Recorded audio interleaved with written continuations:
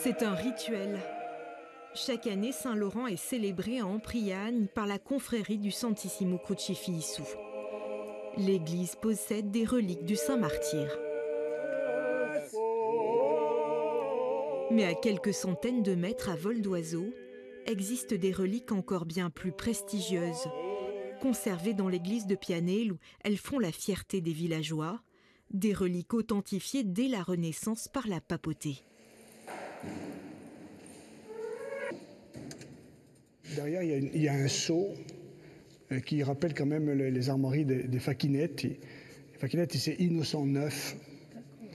Euh, et il y a trois cardinaux, dont un qui est devenu donc le pape Innocent IX.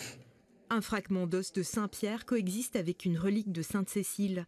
C'est ce qu'ont redécouvert les confrères du Santissimo Crucifix il y a quelques années. Un texte rédigé en 1905 lors de la séparation de l'Église et de l'État mentionne ce trésor depuis oublié.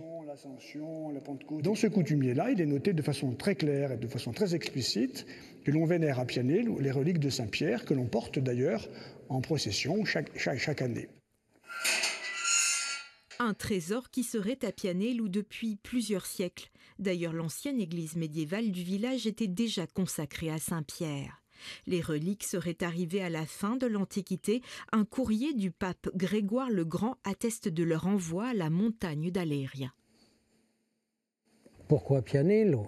Pianello, c'est Aléria.